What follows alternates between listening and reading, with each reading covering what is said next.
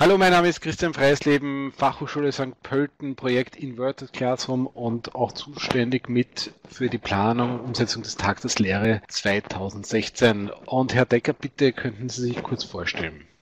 Ja, mein Name ist Christian Decker. Ähm, ich äh, bin Hochschullehrer an der Hochschule für angewandte Wissenschaften in Hamburg und ich werde auch am fünften Tag der Lehre in St. Pölten zu Gast sein. Ähm, hauptberuflich bin ich, äh, habe ich eine Professur für internationale Betriebswirtschaftslehre, aber ich beschäftige mich auch mit dem Thema Hochschuldidaktik sehr intensiv, weil das für mich letztendlich zu meinem Beruf dazugehört, ein integraler Bestandteil meiner Tätigkeit ist. Okay. Ähm, welches Thema werden Sie beim Tag der Lehre einbringen?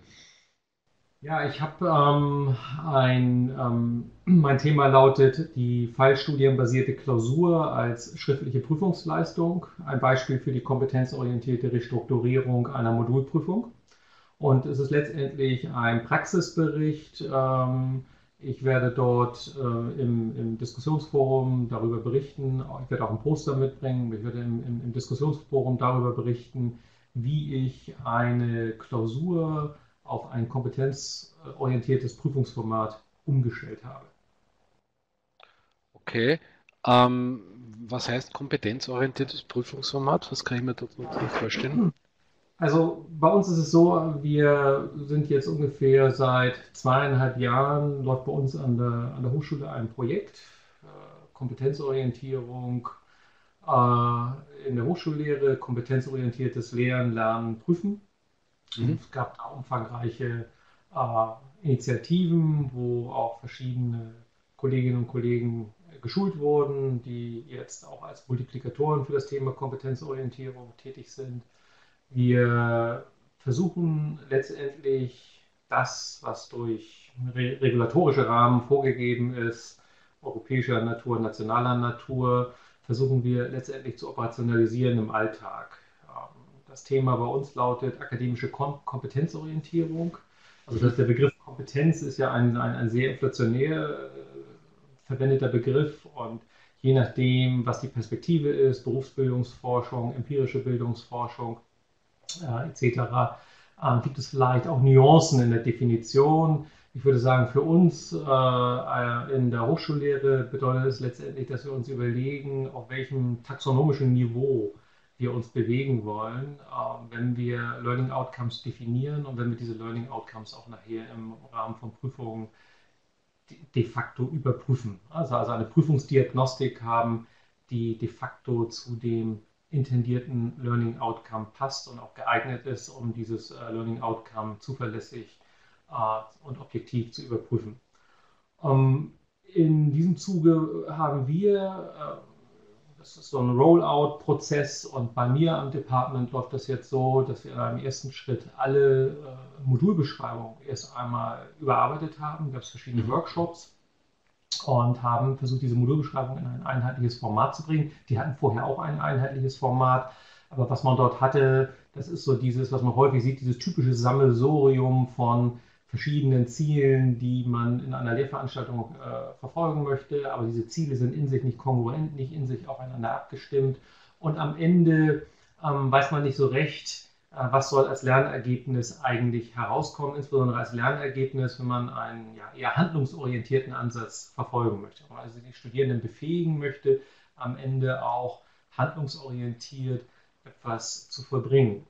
Mhm. Und äh, da haben wir uns ein bestimmtes Format, äh, das haben wir uns auch nicht selber ausgedacht, das äh, ist letztendlich durch, auch durch einen entsprechenden äh, Coaching-Prozess in die Hochschule hineingetragen worden. Wir haben also ein bestimmtes Format, das wir verwenden, das werde ich auch am Tag der Lehre vorstellen. Und in diesem Format äh, haben wir jetzt einheitlich äh, die gesamten Modulbeschreibungen formuliert, insbesondere die Learning Outcomes, sodass es relativ klar ist für die Studierenden, auch für die Lehrenden natürlich, für die externen für Akkreditierungsagenturen, für die interne Systemakkreditierung, dass relativ klar ist, ähm, was eigentlich äh, das intendierte taxonomische Niveau so einer Veranstaltung ist oder eines jeweiligen, einer, einer Lehrveranstaltung oder eines, eines Moduls. Und dann ist natürlich der zweite Schritt, dass man da die Prüfung drauf abstellt. Was wir halt jetzt gemacht haben, wie gesagt, im ersten Schritt haben wir die Modulbeschreibung überarbeitet und dann wird so ein Prozess in Gang gesetzt. Da setzt man sich natürlich nochmal ganz anders mit der eigenen Lehre auseinander überlegt sich auch, wie muss man vielleicht eine Prüfung umstellen. Es gibt ja vielleicht auch bestimmte Formate. Ich habe dann nicht unbedingt die Möglichkeit, das ideale Format zu wählen. Das war jetzt bei mir der Fall. Also bei mir war letztendlich nur das Prüfungsformat Klausur vorgegeben bei diesem Beispiel, was ich vorstellen werde. Und jetzt ging es für mich darum, wie kann ich diese Klausur aufwerten, dass es also einerseits nicht ein, ein, ein, ein, ein Reproduzieren von Fakten ist, von dem man ja letztendlich weg möchte, und auch nicht ein ja, Besinnungsaufsatz ist, der im luftleeren Raum schwebt, sondern wie schaffe ich es, jetzt eine schriftliche Prüfungsleistung abzunehmen ähm, und gleichzeitig Studierenden herauszufordern auf einem vergleichsweise hoch angesiedelten äh, ähm, kognitiven taxonomischen Niveau. Und dafür habe ich mir ein Format ausgedacht, äh, und zwar die Fallstudie oder die Fallstudienbasierte Klausur. Die Fallstudien sind ja bekannt, setzen wir natürlich auch ja. normalerweise jetzt im Unterricht in der Lehre ein. Ähm, und vielleicht hat man mal auch eine kleine Fallstudie, so, wenn man das so bezeichnen mag, in einer Klausur. Aber hier geht es in der Tat darum, dass ich die Studierenden in der Prüfung mit äh, komplexen Sachverhalten äh, konfrontiere, die ihnen völlig unbekannt sind. Sie werden also erstmalig mit einem Sachverhalt in der Prüfung äh, konfrontiert. Und es geht jetzt nicht darum, Wissen zu reproduzieren, sondern es geht darum, die Zeit zu nutzen, um sich in diesen Sachverhalt hineinzudenken. Es ist jetzt auch nicht gefordert, dass Sie die perfekte, die wahre oder die richtige Lösung zeigen, sondern was ich äh, beobachten möchte oder was ich diagnostizieren möchte, ist, ob Sie in der Lage sind, mit dem, was Sie in der Veranstaltung gelernt haben, ob Sie mit diesem Rüstzeug, mit diesen Werkzeugen in der Lage sind, sich diesem Problem zu nähern. Es geht also jetzt gar nicht darum, das Problem abschließend zu lösen, sondern Sie sollen eben anhand eines neuen Problems sich beweisen oder letztendlich auch demonstrieren, äh, welches äh, Learning Outcome sie erreicht haben. Das ist natürlich dann nicht mehr so zu korrigieren, wie man das klassischerweise in einer äh, Klausur machen würde, wo man sagt, Begriff A wurde genannt, ein Punkt, Begriff B wurde genannt, der nächste Punkt und dann am Ende summiere ich auf und habe dann so einen Prüfungsalgorithmus, der mir dann eine Note bescheinigt. Ich muss hier also anders rangehen. Ich muss letztendlich die Qualität der, der Antwort in ihrer Gesamtheit würdigen. Und ich muss in der Lage sein, jetzt auch zu differenzieren, was natürlich nicht einfach ist, weil man vor allem auch gerecht äh, benoten will im Vergleich zu anderen Studierenden. Und dafür äh, habe ich ein, äh, ein Niveaustufenmodell entwickelt mit verschiedenen Niveaus, die man dann natürlich in Noten äh, transformieren kann. Und dieses Niveaustufenmodell, das lege ich dann quasi als Schablone auf die Klausur und schaue, ob ein entsprechendes Niveau erreicht wurde. Und dann gibt okay. es natürlich dann auch eine entsprechende äh, Verschriftlichung äh, des, des, äh, des Urteils. Also die Studierenden bekommen nicht nur eine Note, sondern sie erfahren dann letztendlich auch, auf welchem Niveau haben sie äh, welche Leistung oder welche Leistungselemente gezeigt. Und dann kann man ihnen eben auch später, wenn es äh, dann äh, zu einer Nachbesprechung kommt oder zur berühmten Klausureinsicht, die Studierenden möchten dann genau wissen, warum war es denn jetzt nur eine 2 und keine 1, dann kann man dann eben auch zeigen, okay, an dieser oder jenen Stelle, da wurde ein bestimmtes Niveau nicht erreicht. Und da geht es eben nicht darum, äh, dass nicht bestimmte Begrifflichkeiten reproduziert wurden oder bestimmte Algorithmen angewendet wurden, sondern es geht dann letztendlich, bewege ich mich dann auf anderen Stufen oder die Studierenden sollen sich auf anderen Stufen bewegen. Es werden dann eher Urteilsbildungsstufen, Stufen der, der Analyse oder auch Stufen der Kreativität, wo eine Syntheseleistung zu erbringen ist. Und das kann ich dann äh, recht schön aufzeigen. Und das ist dann zugleich natürlich auch ein Feedback, was eine, für, zumindest für die Studierenden, die sich das zu Herzen nehmen, auch eine Entwicklungsrichtung aufzeigen kann in ihrem weiteren Studienprozess. Ähm, meine die Frage, die sich jetzt am Schluss noch aufdrängt, ist, wenn das andere Lehrende sehen, sagen die nicht, boah, das ist ein gescheit großer Aufwand und eigentlich eine ziemlich radikale Umstellung auch vom vielleicht bisher äh, Vorgangsweise. Gibt es da nicht Widerstand oder skeptische Blicke? Ja, also es ist ganz interessant, wie dieser Prozess letztendlich bei uns in die Hochschule hineingetragen wurde. Also die Hochschulleitung hat ähm, einen Prozess initiiert, wo in einem ersten Schritt äh, ein Dutzend ähm, Personen zu Multiplikatoren für Kompetenzorientierung ausgebildet wurden. Ich war damals auch in einer Leitungsfunktion und wir wurden angesprochen und es hieß, äh, bitte ihr als Department, ihr müsst auch eine Person entsenden, damit die zum Multiplikator ausgebildet wird. Und dann hat man natürlich beobachtet man häufig dann, dass es so eine automatische Abwehrhaltung gibt. Nicht schon wieder so ein Projekt, was bei uns in die Hochschule hineingetragen wird. Was wollen die noch alles von uns? Wir haben doch eh schon so viel zu tun und jetzt soll ich mich auch noch mit so etwas beschäftigen. Ähm, letztendlich war niemand da. Ich hatte ein originäres Interesse, weil ich generell Hochschuldidaktik interessant finde, wollte mich aber nicht vordringen, aber es hat sich de facto niemand gefunden.